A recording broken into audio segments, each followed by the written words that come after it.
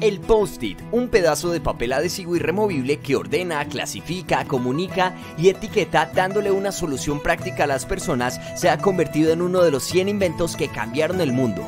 La curiosidad del científico Spencer y la necesidad del investigador y director de coro Arthur Fry.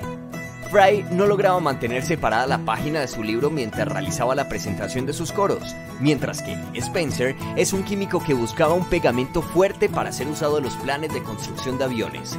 En esta búsqueda creó un pegamento de alta calidad y tan débil como para pegar dos hojas, en 1974, estos dos hombres trabajaron juntos en la compañía 3M.